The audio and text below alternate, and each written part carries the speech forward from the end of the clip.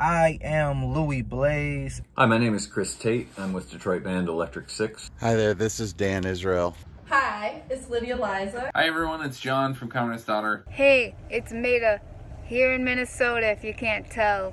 Hi, this is Katie Vernon. Oh, this thing. Okay, yeah, this thing on. Hoping by not playing shows every weekend, I can actually write some songs. That's the goal. That's the plan. Hi, this is Sarah Sauter, co founder of Dissonance. Dissonance Sessions is a series of interviews with musicians.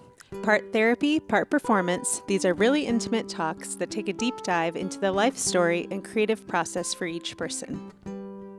We want to explore the music that is tied to their human experience success that you see other people get so much because you just think, well, I'll be really happy. You know, if I can sell out this venue or if I can get that gig, um, you know, and you keep moving the goalposts to think like, well, I'll be happy then. You know, all my problems will go away if um, if this song gets played more on the radio. Like really irrational stuff, but you know, the good stuff that motivates you as well. And then the dark side of that is realizing that you need to find that contentment and that acceptance within yourself.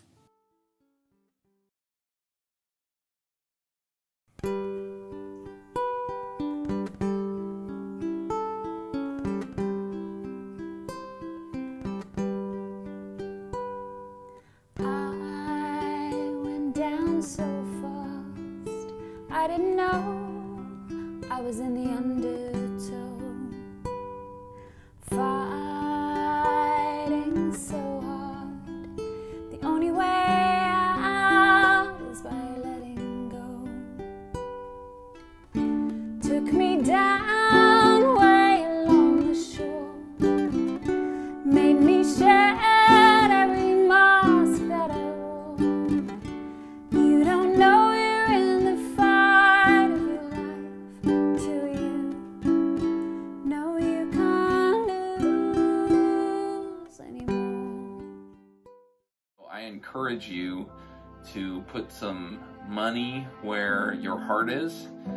and my heart is in advocating and speaking out about mental health and addiction in creativity.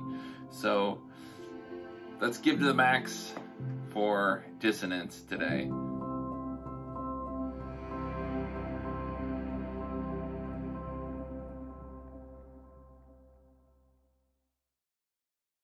Love doing things that I know, you know, will bring someone joy. Well, it worked. Yeah. I love it so much.